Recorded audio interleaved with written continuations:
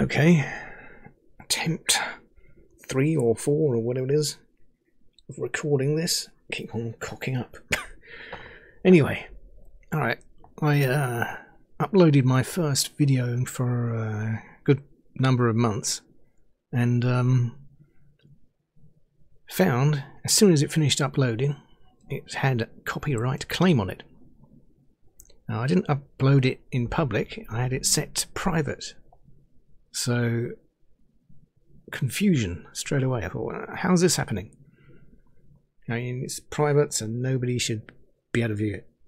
Be able to view it. Then I noticed in my emails, I had a an email come through, and there's a claim by LDS and Lionsgate. I looked them up, they're a production company. And, uh, oh, weird. So they have been able to view my video while it's in private state. Surely that's not right. Very strange. Now, okay, Lionsgate. Did they produce this film? And the answer is no.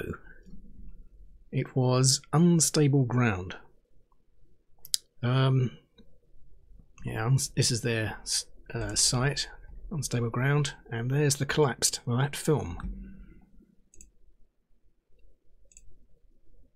Which uh, I made a video on it about it.